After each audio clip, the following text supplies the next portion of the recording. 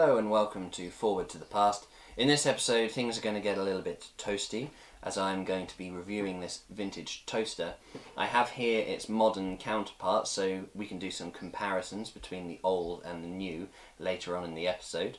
And we're going to be taking this apart to have a look at some of the internal workings. Now, the first electric toaster was made in 1893 in Scotland, but this model is significantly younger than that. From the research I've done, I believe it to be around 1930s to 1950s. Um, in the 1950s, there were designs coming out more like the conventional toaster that we recognise today, but this design was still quite popular for some time. Uh, so this is referred to as a butterfly toaster. The reason for that is because it basically has wings. Uh, these components here are for the bread, but we will have a look at that in more detail after we have taken the bottom off and had a look at the internal workings of this toaster.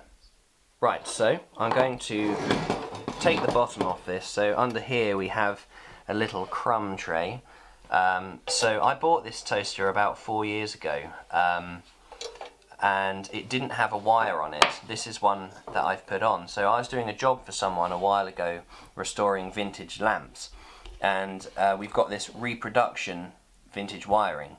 Um, and I had a cut off that was too short to use on any of the lamps. So I thought well I've got that old toaster knocking around. I wonder if I can make it work. So I put it on. So this is very easy to remove because this is actually a crumb tray. Now I drop it off now. As you can see, there are some crumbs in there. Now, these are modern crumbs because, believe it or not, I do actually use this toaster. But when I first took it off, there was crumbs in there which could have been 50 or 60 years old. And I was going to shake this off in the fireplace. Bring it back. So this is the underside. So it's got Swan brand on there. And typical kind of power, 230 to 250 volts, um, 500 watts, made in England. And it also has shake crumbs out here. So that is an official British crumb tray. Anyway, so here we have the actual underside. Uh, there really isn't too much to describe here because it's very, very simple. Uh, this is the earth here, just in case the electricity shorts out but the live and neutral come in through these ones here, so connect, which go to these insulated wires. So basically, inside, the wires are connected to these wires here, or windings. So this is the exact same design that you would find in a brand new modern toaster. The design hasn't changed, it's just got a different layout. So the electricity has to pass through all these windings before it returns and goes back to the wall. Um, but these windings, just like an electric heater, in theory are too small for the electricity to pass through, so they get hot. So they've got a lot of resistance, they've got ohms basically, so they glow red. And then you've got these bars here, which are just there so the bread doesn't touch all of this, because if it did, it would just turn it black and basically destroy your toast. So really, when it comes to it, this is not too dissimilar to a modern toaster. Right, it's time to make some toast. Now one thing I really need to draw attention to with this is, you've probably figured it out already, you don't stick the bread in the top of the toaster, it goes in the side.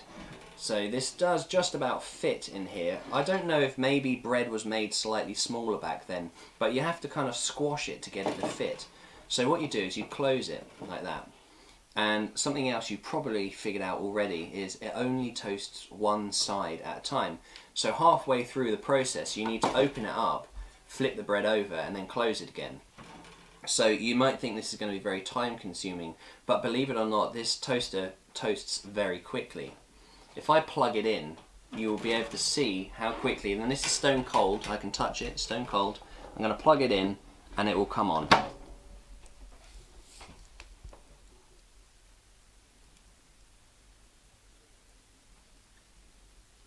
There we go.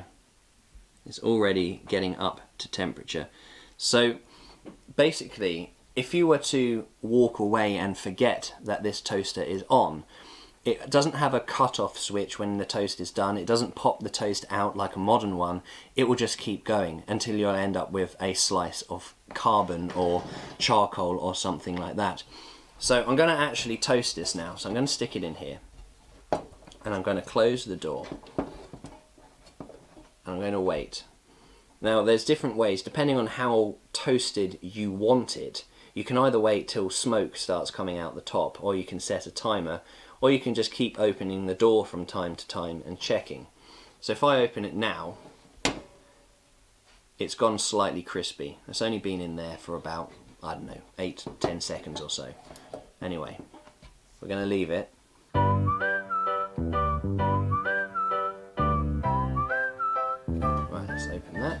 That's gotten to. Nice and crispy, still not, you can hear, listen. It's gone crusty. We'll try again.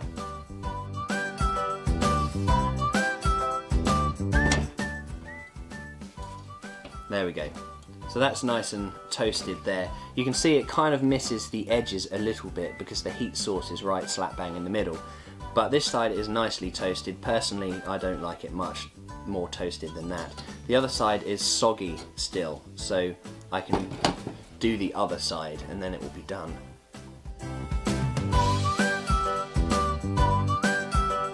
Right, let's see how that's doing.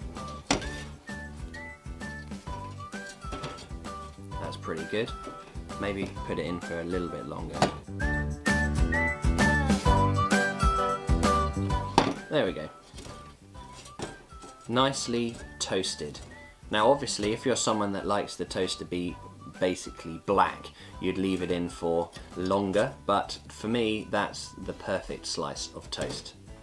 It's pretty hot as well. It is time to test the old and the new. Toasters, are you ready? I shall load the modern toaster. I shall load the vintage toaster on both sides. Get it to fit in there. Right, plug the old toaster in, as it doesn't have a switch.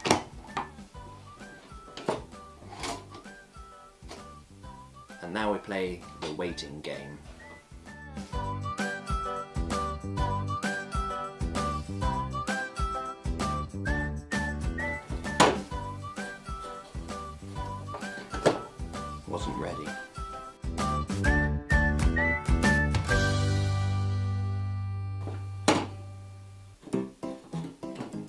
Aha. We're at the halfway mark with the vintage toaster.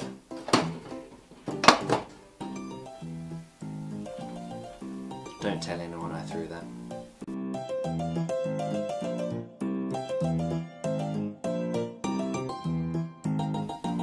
Right, we've got smoke, that's a good sign. I'd say that's pretty much done. Yep, okay, so let's unplug the vintage toaster and let's have a look at the results. So, modern one's still going. Here's the toast from the vintage toaster. I shall eject this and here is the modern one. Okay, so vintage toaster has got this far. Obviously it hasn't done the edges too. The, the edges are crispy a little bit, but the middle has clearly been toasted quite thoroughly and even had time to do both sides despite the fact I had to take it out.